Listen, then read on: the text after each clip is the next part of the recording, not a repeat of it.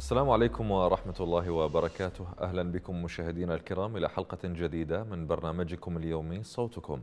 نعرض لحضراتكم أبرز ما تم تداوله عبر مواقع التواصل الاجتماعي بشأن العراق وبإمكان حضراتكم مشاهدينا أن تتواصلوا معنا من خلال أرقام هواتفنا التي تظهر أسفل الشاشة أمامكم أو من خلال الرقم المخصص للواتساب الذي يمكنكم من إرسال رسائلكم النصية والتي سنقرأها تباعا إن شاء الله في هذه الحلقة. نبدأ مشاهدينا الكرام من فقرة المقاطع المتداولة في مواقع التواصل الاجتماعي. تتعرض مجاميع من صيادي الأسماك في محافظة البصرة لمضايقات متواصلة من قبل خفر السواحل الكويتي والإيراني كذلك وذلك أثناء إبحارهم في المياه الإقليمية والمياه المشتركة.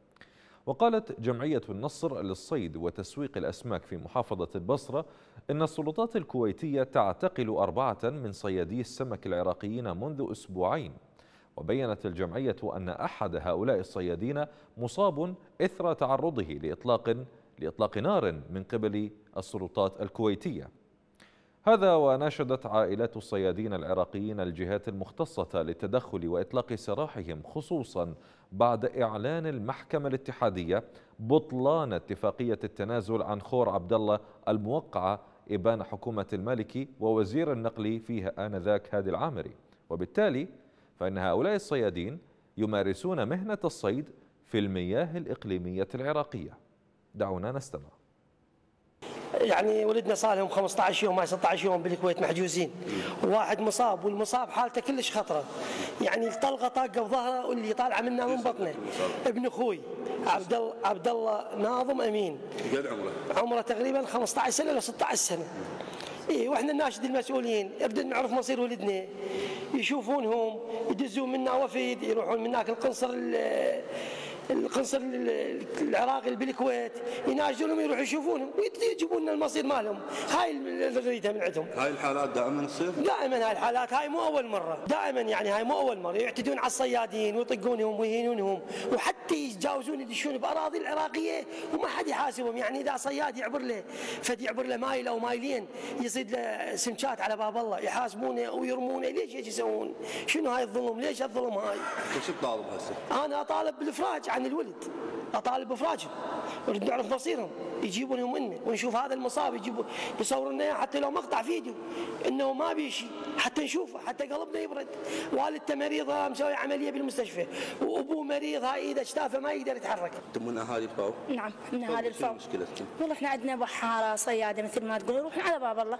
من راحوا؟ شوية زلفت الهيانه وتبعوها. من راحت خذوهم الكويتيين.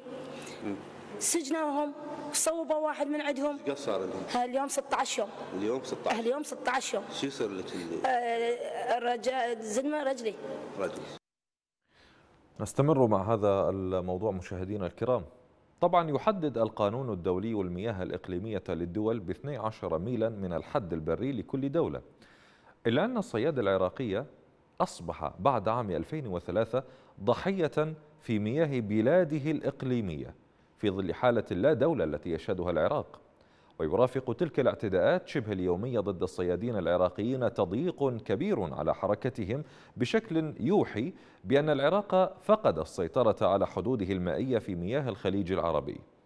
لتتنوع الانتهاكات وتشمل الاعتقالات وحجز الزوارق ومصادرة معدات الصيد التي تمثل مصدر الرزق الوحيد للصيادين. وارتفعت أصوات ذوي الصيادين المحتجزين من قبل خفر السواحل الكويتي معبرة عن الاستياء والخذلان الحكومي دون انفراجة تذكر.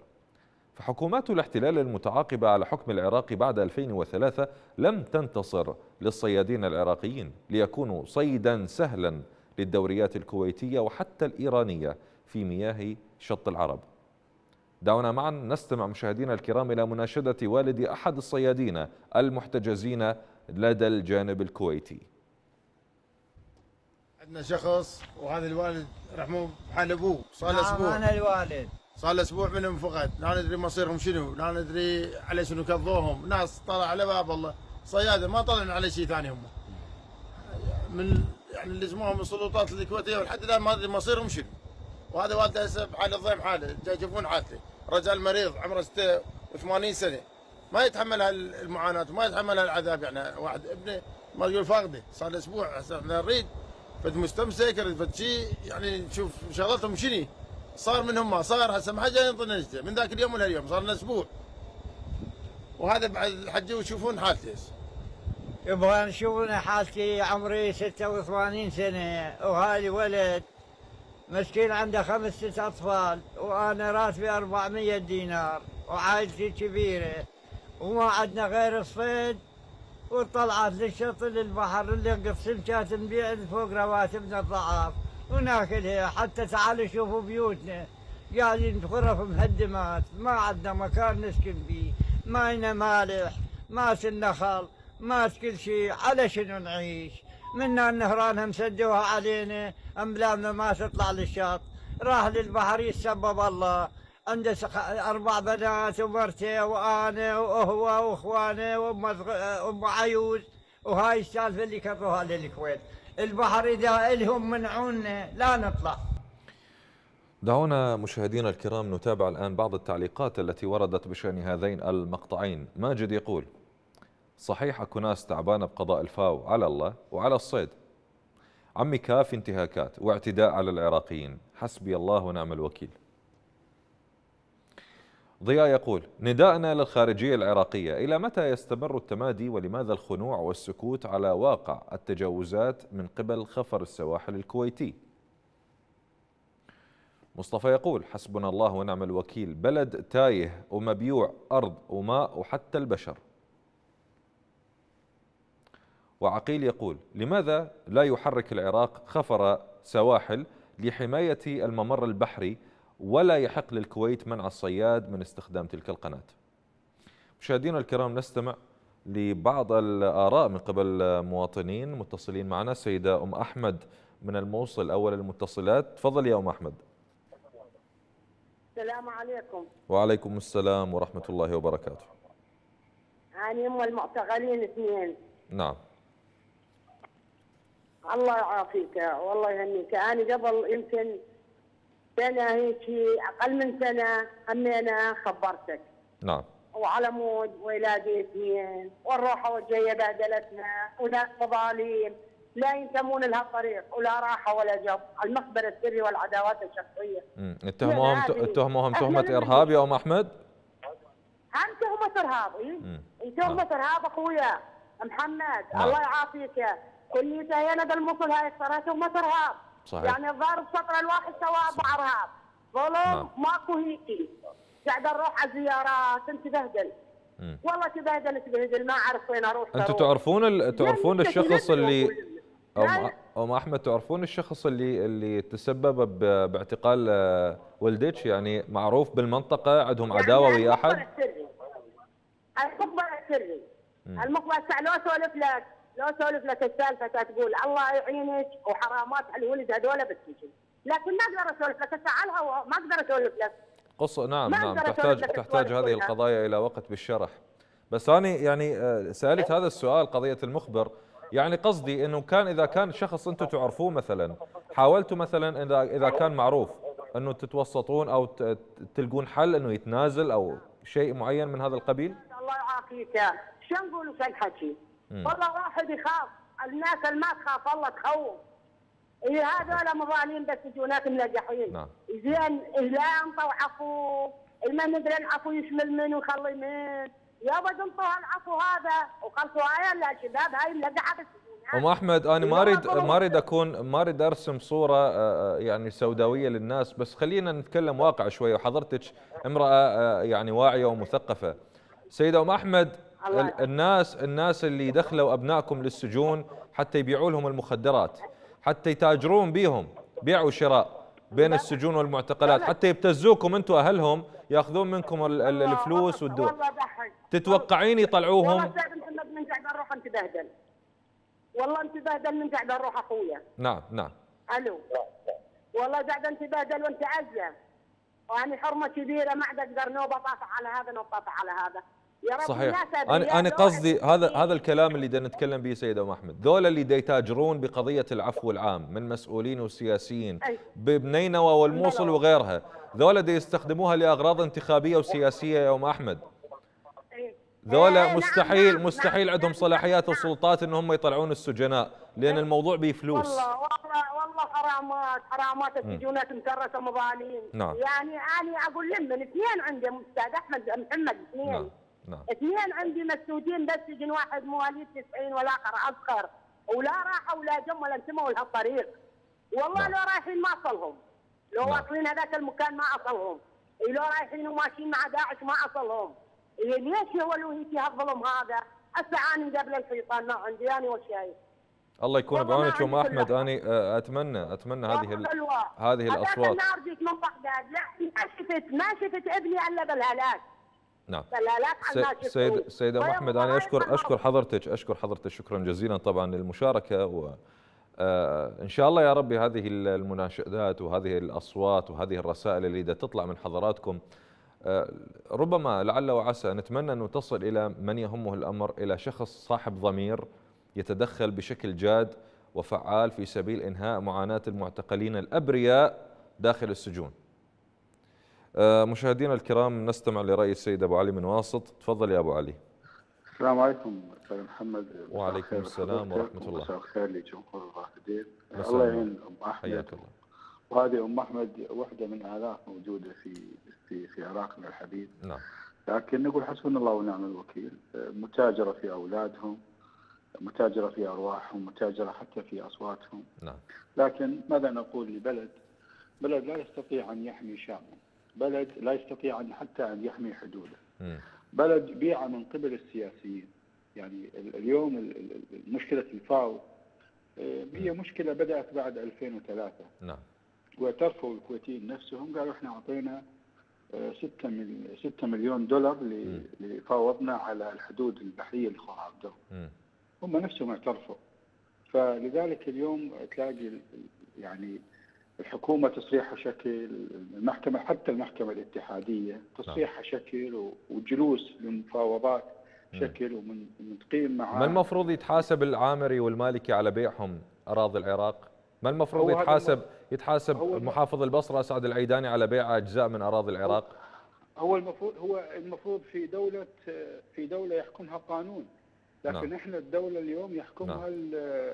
يعني يعني يحكمها ال- الهوى يعني اليوم لو تلاحظ أنت آه، منو اللي حاكم اليوم الدولة؟ حاكمها نور المالكي نعم زين المحكمة الاتحادية من أبطلت قرار مم. سنة 2012 وزمن منو؟ مو زمن المالكي ما صوت عليها البرلمان. بعد ليش ما يحاكمون نور المالكي؟ زين حتى نور المالكي من يجي اتصالات مع الكويتيين يقول لهم ماكم شغل أنتم حسوا بأمان ترى هذا الكلام مأخوذ خيره لكن. الكويتيين بعد 1990 وعوا اليوم لو تلاحظ يعني الحكام الكويتيين. وين ما يروحون لأي دولة لأي مجتمع يطرحون مشكلة خور عبد الله حتى. تكون دولية. لأن لأن يعرف ال- ال- الشخص اللي يبيع بلده هذا مو ثقة. صحيح. يعني تخيل أنت من تجي يعني هذا يقول لك هذا باع بلده الي فأكيد هذا مو ثقة. أنا ما أقدر أثق فيه. فلذلك اليوم التجاوزات اللي تصير على الصيادين نعم. والقتل وغيرها وغيرها هذا بسبب ضعف الدولة. ضعف وين الدولة وين دعاة يعني وين دعاة السيادة؟ والبلد اللي اللي ما تحقق استقراره إلا بوجود آه، عناصر إيران وميليشيات الحشد. وينهم وينهم ذولا؟ ليش ما نسمع لهم حس ولا نفس؟ لما يصير الموضوع ب آه، بأذية على المواطن العراقي بضرر أقول لك على سكان العراق. محمد انقتل به واحد من من الولائيين. انقتل به واحد من الميليشيات لا.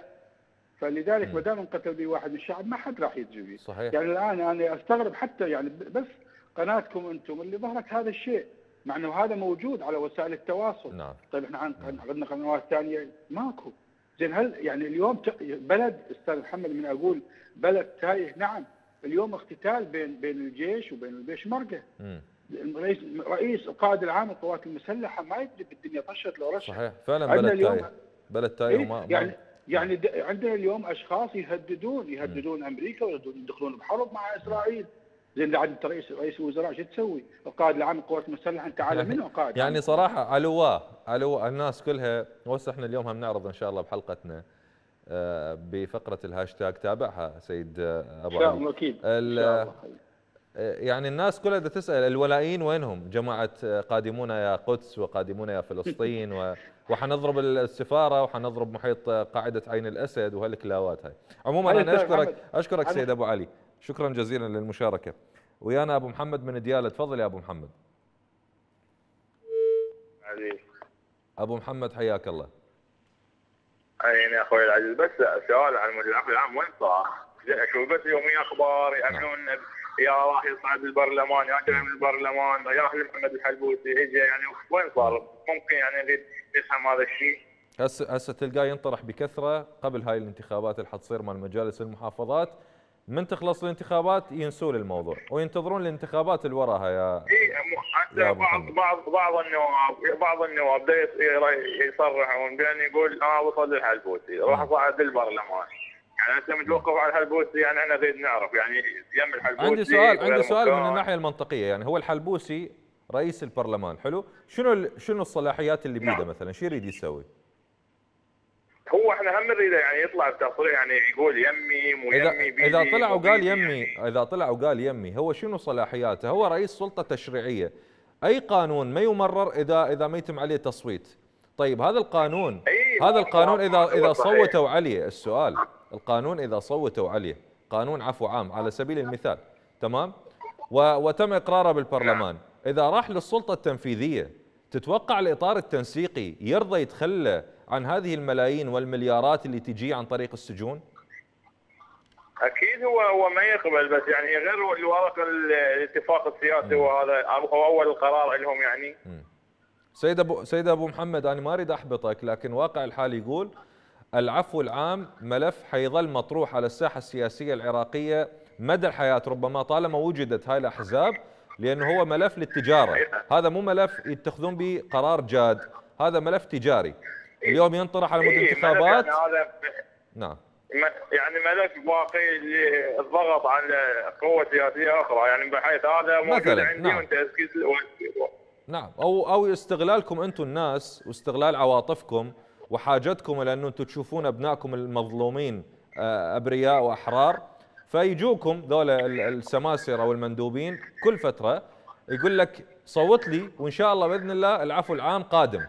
يا بش وقت قادم هذا هم- الكلام؟ هم تكلم تكلموا هم تكلموا وقالوا راح حتى ينقدم للبرلمان قبل الانتخابات. راح تجي العطله التشريعية هو أصلا ما مقدم لا قراءة أولى لا ثانية. يعني شو بقى شي بالثلاث اشهر اربعه يلا يعني طيب. فيها يعني فيها بلا بعد الانتخابات نعم. يبقى ورا الانتخابات. شكرا جزيلا أبو محمد من دياله وصلت الفكرة. أني أشكرك. ويانا السيدة أم وسام من الطارمية. تفضل يا أم وسام. السلام عليكم أستاذ محمد. عليكم السلام ورحمة الله وبركاته. شلون صحتك يا وشلون أخبارك؟ أهلا وسهلا أم وسام أهلا بك يوم. أقول لك يوم نعم. على مود العفو العام. أي. طلعوا العالم كلها تكذب صار طلعوا كلهم كذابين. ما يحكون الصدق. نعم. عدا أنور الحمداني واستاذ عبد الكريم عطان بدون اسماء بدون أسماء عليها ماخذ يا ام أم وسام بلا زحمة لأنه هاي أسماء عليها. ماخذ عليها مآخذ أي، وعليها آه،. ملاحظات فخلينا خلينا. بعيدين عن هاي. نعم. مو إشكال يوم مو إشكال. اي تفضلي. والله خالة طلعوا كلهم كذابين. اي كذابين تدعوهم على التلفزيون واحد من عندهم ما يقبل أصلا يطلع عفو نعم. اي اي دا أفتهم. واصل يم يم الأوراق واصلة مال العفو العام. ما يقبل يطي. نعم. ما يقبل يقول له ليش عندك مشلب بيهن؟ ما تطل- تطلع العفو العام كافي علينا. هاي صار لنا ثلاث أشهر يوعدون بينا وماكو. يوعدون بينا وماكو عفو عام نعم. شنو ذنبهم؟ أولادنا. يقول لك حتى معتصمين من الأكل. حتى أكل ما ياكلون سودا علي.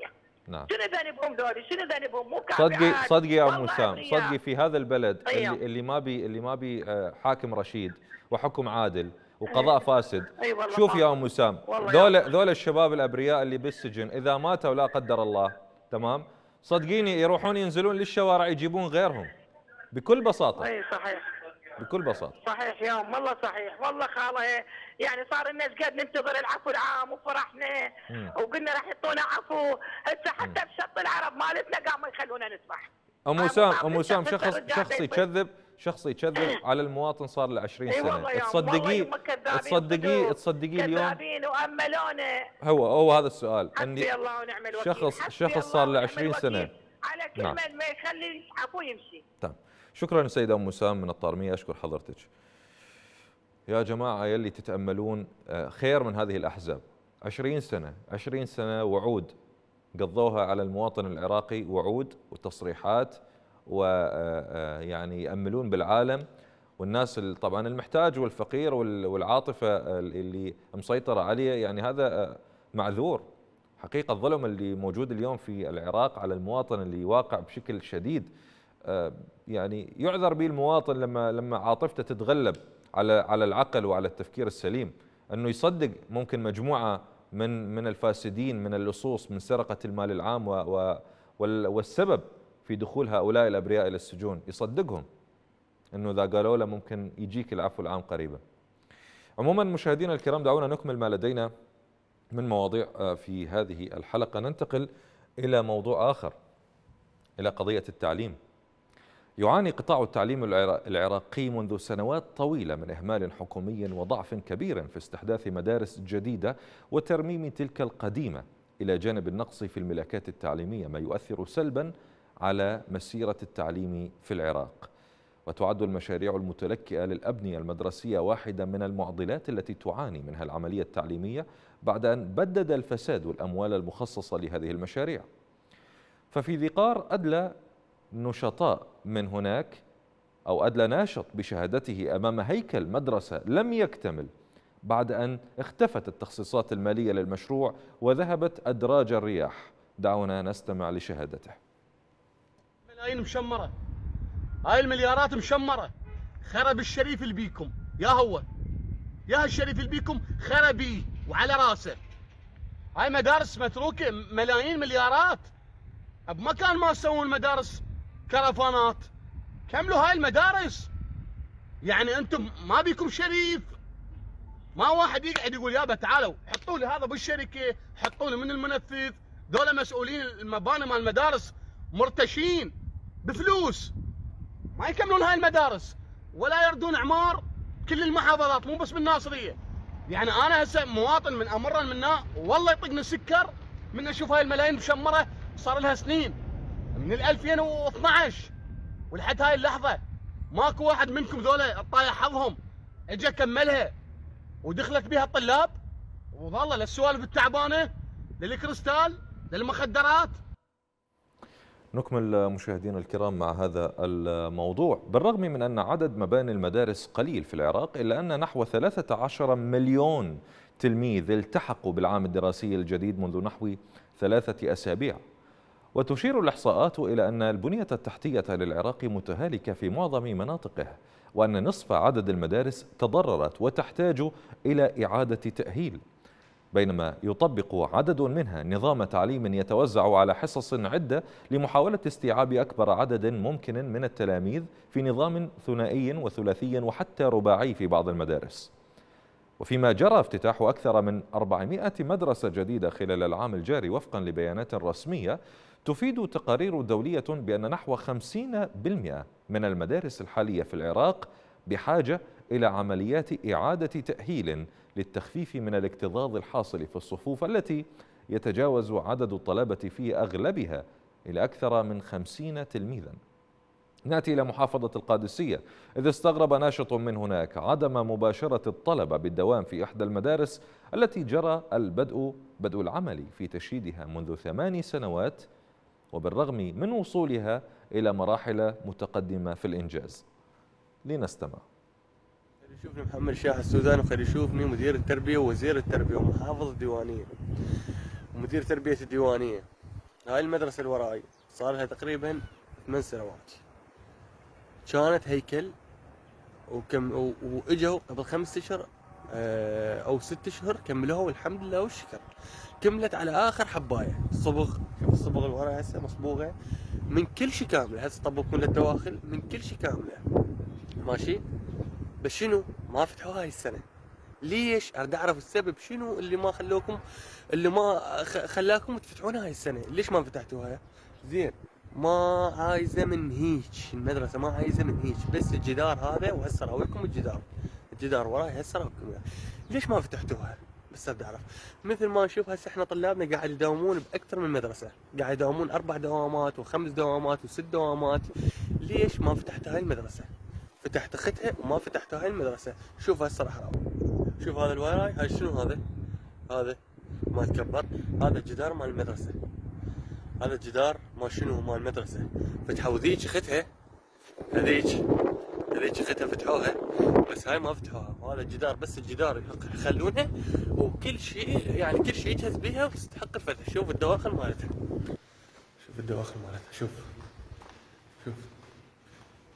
كاملة كاملة كاملة من كل شيء. شوف. مدرسة كاملة من كل شيء. ليش ما فتحتوها؟ ما أدري. نستمر مع هذا الموضوع مشاهدينا الكرام ونبقى في محافظة القادسية ننتقل إلى قضاء عفك حيث رصد ناشط من هناك محاولة لملمة فضيحة تتعلق بإحدى المدارس المتلكئة بعد تسوية أساساتها وهدمها وتجريف أرضها لبناء المدرسة من جديد. وذلك بعد أن تبخرت أموالها قبل أكثر من ثمان سنوات. لنشاهد. عن الفساد اللي صار بمدينة عفك. ما صاير بكل دول العالم ولا صاير بكل المحافظات. هاي السرقة اللي صارت تعجز عنها الشياطين. الشياطين ما فكرت مثل ما فكروا إنه ذول اللي سرقوا هاي المدرسة. هذا اللي يشوفونه هسه التفليش هاي صبات مال أساس. صبات مال أساس مدرسة. قبل ثمان سنوات بنوا أساس مدرسة هنا بقضاء عفك بساحة التمثيل. قبل ثمان سنوات. وانسرقت فلوس هاي المدرسة. المرصودة إلها مليارين مليارين ونص ما نعرف. انسرقت الأموال المخصصة لهاي المدرسة ودفنوا الأساس دفنوه بتراب. صار لها ثمان سنوات. انتشر الموضوع. مواقع التواصل الاجتماعي وجد قناة دجلة هنا صورت وقناة السومرية. حكينا بهذا الموضوع. المدرسة المدفونة بساحة التمثيل. اليوم تحولت الغير جهة ما أدري. مقاول صيني على المدارس الصينية حفروا الصب. حفروه الصب حفروه وراح يسوون مدرسة من جديد. هذا اللي عرفناه على أساس راح يسوون مدرسة من جديد. بس إحنا نقول وين الفلوس اللي صارت بالمرحلة الأولى اللي انصرفت بالمرحلة الأولى اللي كانت لذيك المدرسة؟ وين الفلوس, الفلوس اللي انصرفت بالبداية. وين المليارات؟ مشاهدينا الكرام نستعرض بعض التعليقات التي وردت بشأن هذه المقاطع. سيف يقول للعلم ملف هذه المدرسة موجود في نزاهة الديوانية وما حد تحاسب من المفسدين. لابد من تحرك قبل إزالة جميع الصبات ويبنون أساس جديد وينتهي أمرها إلى الأبد. حسبنا الله ونعم الوكيل. مصطفى يقول للمعلومة بوقتها كنت أشتغل بمحل النجارة اللي مقابل ساحة التمثيل وجابوا شيش بناء بتريلات وإجا كشف أخذ صور للشيش وثاني يوم تحمل الشيش بالتريلا نفسها ورجعوه. يعني الظاهر مأجرين الشيش لغرض الكشف فقط. وأني مسؤول عن كلامي. غزوان يقول ما عندنا مدرسة في حي أور كاملة من 2014 بس تجهيز أو مسدودة. منو المسؤول على هذا الموضوع؟ ما نعرف. علما أن المنطقة ما بها بس مدرسة أهلية. حسين يقول بس أريد أعرف شنو دور النائب يعين. ليش ما يسوي خلية أو يقول يعني ليش ما يسوي خلية لمتابعة مثل هيك أمور؟ طيب ننتقل مشاهدينا إلى موضوع آخر في هذه الحلقة. يعاني سائقو الشاحنات في المحافظات العراقية من انتشار ظاهرة الابتزاز عند نقاط التفتيش والحواجز على الطرق الخارجية وفي مداخل العاصمة بغداد. حيث يتم فرض إتاوات على الشاحنات المحملة بالبضائع والمواد للسماح لها بالعبور. واتهم سائقو شاحنات قدموا إلى العاصمة بغداد عبر بوابة بغداد من جهة الشمال وتحديدا عبر سيطرة الحسينية اتهموا القوات الحكومية التي تقف عند نقاط السيطرة متمثلة برجال المرور بفرض إتاوات عليهم مقابل السماح لهم بالمرور في مشهد متواصل منذ عشرين سنة. لواقع العراق الذي يرزح تحت سطوة الفاسدين. لنشاهد. يا هاي بالبوابة مال بغداد المرور مال الحسينية واقف على السيارات اللوريات. يعني هسه أنا محمل مخضر يريد من عندي 25 هسه ما عبرت رديت له.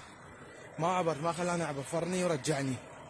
يعني تريد من عندك 25 الف عني ما ليش 25 الله يرضاها يا محمد. ماكو يشترى نظام. يعني مخضر الزمسره بعد انت ازدحام وين داق. هاي من المطعم مال الضفاف مال جديدة داق للبوابة شوف. شوف هذا الظلم هذا السايد من داخل اللي مخضر هذا السايد تريله يعني زين إحنا مخضر ما يتحمل طماطم ما يتحمل هسه الساعة بالأربعة الفجر. راح تخيس الطماطم يتحمل مسؤوليتها. نستمر مع هذا الموضوع مشاهدينا الكرام. في أثناء ذلك اشتكى سائقو شاحنات من الازدحامات وطوابير السيارات الطويلة بسبب فرض الإتاوات في السيطرات الواقعة بين مدينتي كركوك ومحافظة ديالى وبين مدينة كركوك ومحافظة ديالى لا سيما الشاحنات المحملة بالبضائع بحسب حمولتها ووفق تقديراتهم الخاصة. وشكى العديد من السائقين من تعرضهم للابتزاز المالي في سيطرات دقوق وتازة جنوب كركوك وصولا إلى العظيم في ديالى مؤكدين دفع خمسين ألف دينار عراقي من أجل إكمال طريقهم في ظل صمت حكومي مطبق تجاه هذه الممارسات. لنشاهد. لا طريق كركوك من نرجع. تدخل محافظة ديالى باوع التريلات شو مسوين وباوع الناس وين تروح. على مود ينطون كل تريلا خمسين ألف. استلم هاك باع الناس وين تروح؟ باع باع باع باع باع يكون مسؤول يحاسب السيطرة اللي مسويها هيك. تريلات. طريق العظيم هذا من ترجع من كركوك. شو ذول الناس باع تريلات باع يلا شباب وين إحنا بيا بالصومال وين؟ الله لا يوفقكم إن شاء الله. من المسؤول؟ نتابع الآن مشاهدينا الكرام بعض التعليقات التي وردت بشأن هذه المقاطع. أبو رهف يقول والله صحيح. إذا مو فلوس ما تعبر. كلهم يأخذون فلوس. ماكو واحد ما يأخذ فلوس. محمد يقول حسبنا الله ونعم الوكيل عليكم يا ظالمين. شنو ذنب هاي العالم الفقرة ليش هيك محاربين السائق الفقير اللي عايف أهله بسبب العيشة الصعبة؟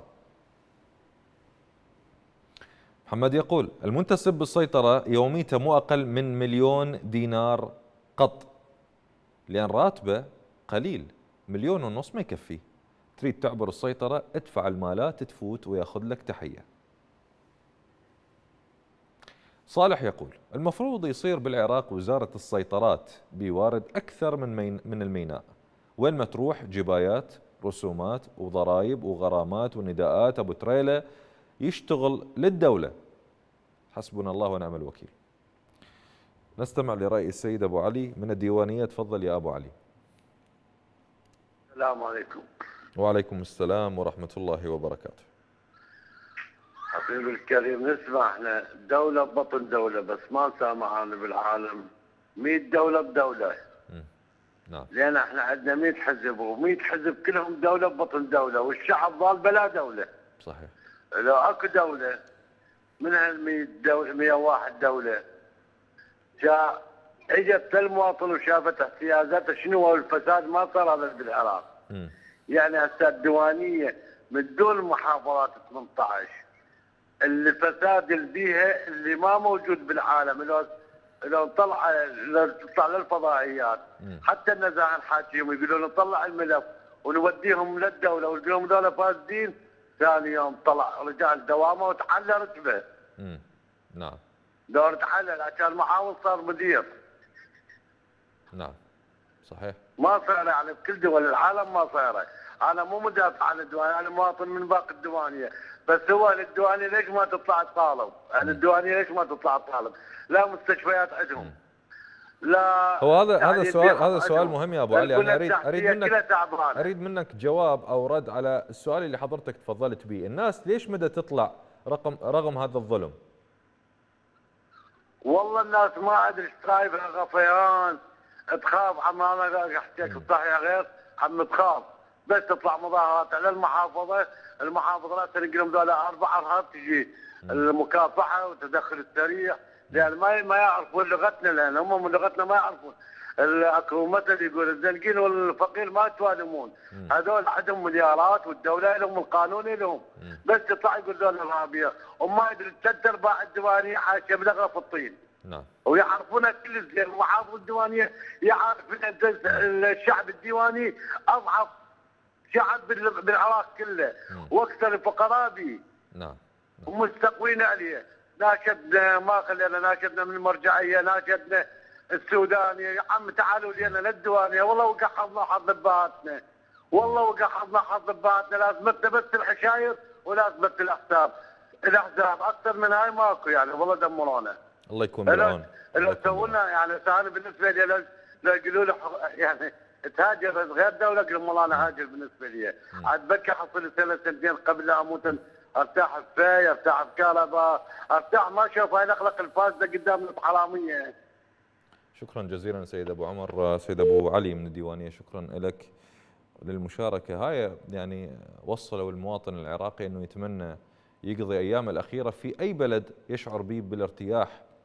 يقول لك سنة سنتين ثلاثة بس أشعر بها بسلام وراحة وأخلص من هاي الوجوه المعفنة اللي دا تحكم العراق.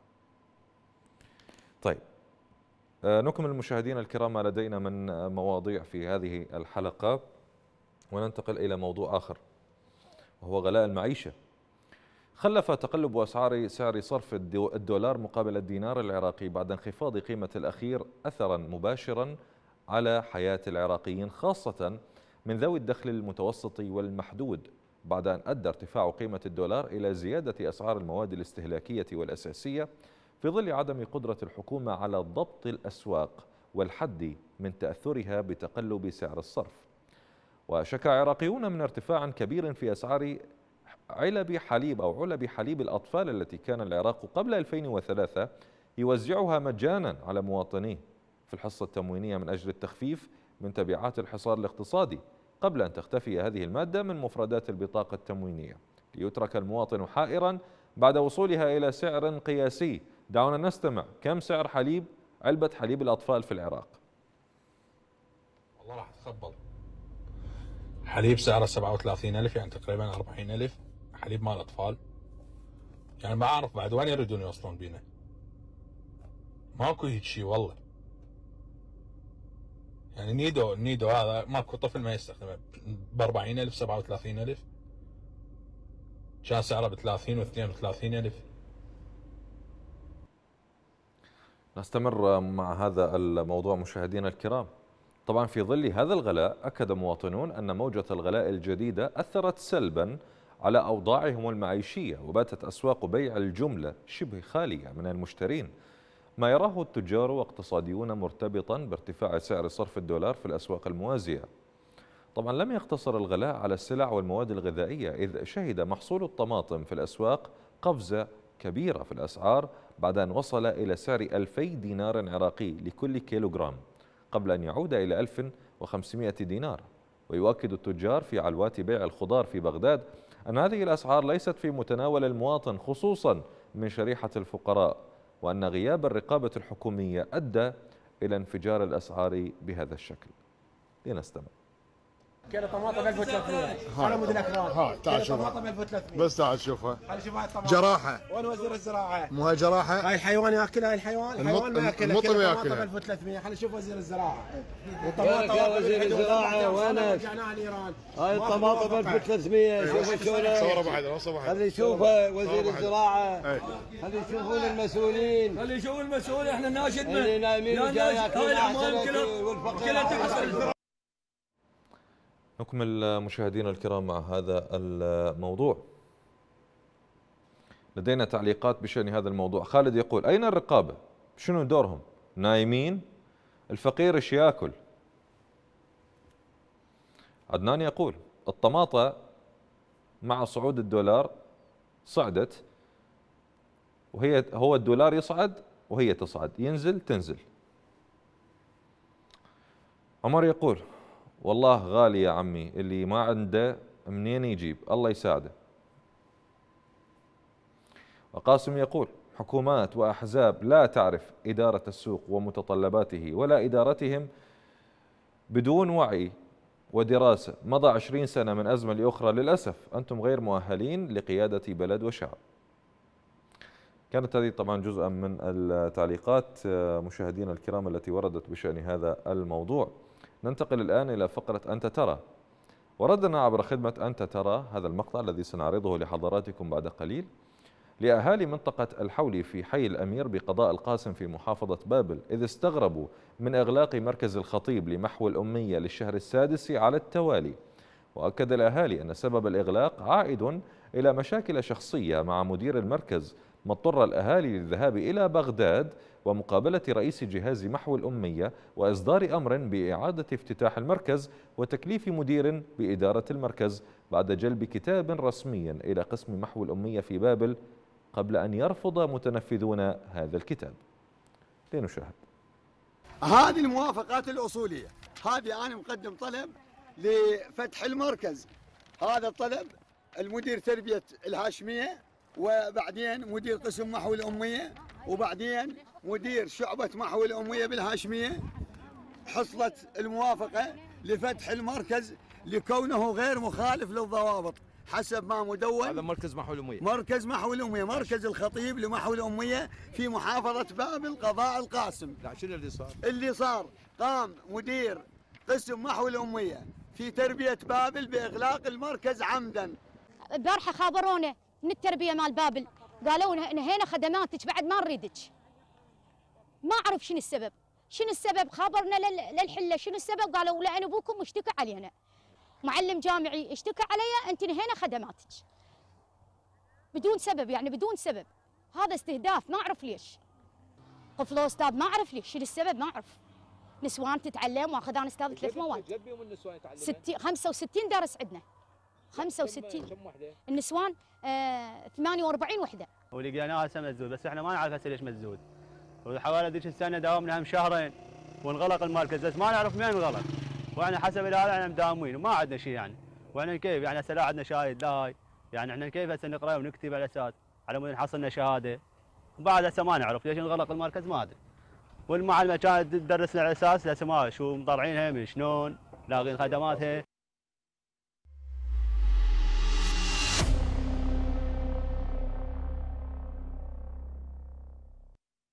العراق قصيدة الشعراء الحاضر الدائم بأصوات عراقية وأخرى عربية. ودجلة والفرات العذب ملح أجاج من دموع المتعدين. عراق المجد والتاريخ يشكو فراق الأهل والمتعاطفين. كثيرون من يتطلعون بإبداعاتهم إلى انتزاع حرية مأمولة وحياة تليق بشعوب تستحق. الصاعدون إلى السماء جهارا. رسموا لمن ورث الثرى آذارا. وتكاثفوا في الغيم حتى يهطلوا في حضن بغداد الهوى أنصارا. محمد سيدي فاضت بك النعم وليس دونك دين فيه نعتصم. تابعوا برنامجنا أسبوعيا على شاشة قناة الرافدين بيت القصيد الكلمة التي تصنع الأثر وتسعى إلى تحقيق الأفضل وتنتصر للإنسان.